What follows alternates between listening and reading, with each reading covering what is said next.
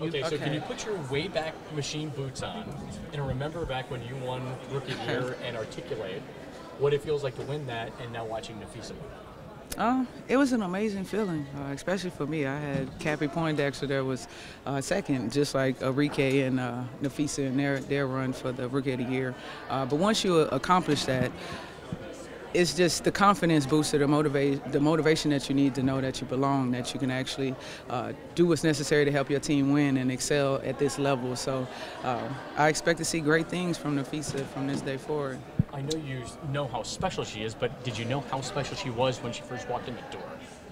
Yeah, I could tell. I've been saying it all year, just her maturity level and the way that she approached every day of practice, every day, every game. You know, never complaining, always just getting it done, um, working on whatever it was. You heard her say she struggled guarding, de defending the three this year, and every day she would get in and try to figure out new ways to try to defend the three and make her life a little bit easier on the floor, a little bit easier for our team. So that's a maturity level that's rare to see in a rookie, um, you know, during their, their first stint in, in the professional ranks. Given how much time you've invested with her and you've kind of had this mentor relationship with her. How satisfied is it for you, not just for the year she had, but to get this award today? I know I feel like a coach or something. Like, mm-hmm. like, oh man, it feels good to see, you know, like you said, someone that I felt like I mentored a lot this year, just standing in her ear, giving her the confidence boost that she needed, or just directing her in a way that she needed to go to continue to be successful. So uh, it is like, you know, you feel proud, like a super proud moment to, to see your teammate excel and and do great things. Isn't it just like her too to do her speech and just leave the stage thinking nobody wants to talk oh, to yeah, her? that's Fee. That's Fee. Like she doesn't see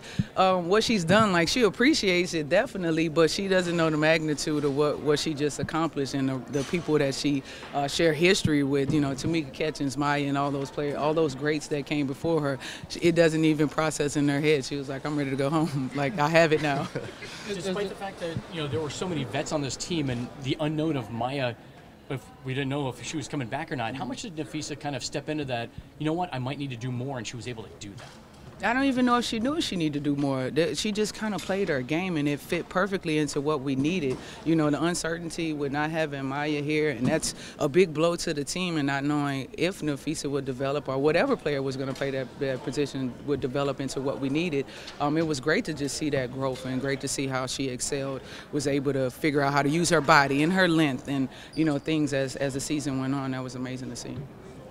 There's this narrative about she being kind of quiet. Um, but coach was just saying that she really also became a really strong leader in the locker room and stepped up. Can you talk a little bit about how kind of how she grew in that department? Um, just vocally, she um, she started to speak up a little bit more about maybe the things that she was seeing on the floor, or just motivationally, just getting after uh, getting after players, or you know, getting after the, the idea of what we need to do as far as competing. You can see you seen that happen, like as she started to unfold. Like every person that you like quiet and shy really has that other side to them. It just takes a little bit of time to to crack the shell, allowing them to be open. And so by midway point, you know, of the season, you start to see her open up and feel more comfortable with us. With her kind of at the center of things, how confident are you in the direction of this franchise moving forward? How confident are you in it? You're pretty confident. Yeah, yeah, I'm very confident in it. Um, you know, we have, like I say, a great foundation of young players uh, mixed with a good combination of vets and with free agency and other things. Like, things just always happen to kind of fall in our way. Look how we acquired Waylon Bronson. Like, the stars align for whatever reason. I guess we've been doing good in life uh, where we're starting to get great commerce. So uh, I think we're still in the right direction. Obviously, we wouldn't want to be seven or eight, but in the position as far as playoffs, but we are looking to get back to where we are one and two and kind of waiting for our opportunity to play in the playoffs on next year. I know it's early. How much are you looking forward to next year? Do you want to come back next year? Oh, you try to slide that one in. Oh, that was a good way to slide. That was a great way. Um, I'm looking looking forward to coming back. Um, you know, obviously, but I think what you're hinting at is if I'm coming back or not. Like, I don't know. I have to see what my body tells me. That's what professional athletes go off of. Because our mind is strong.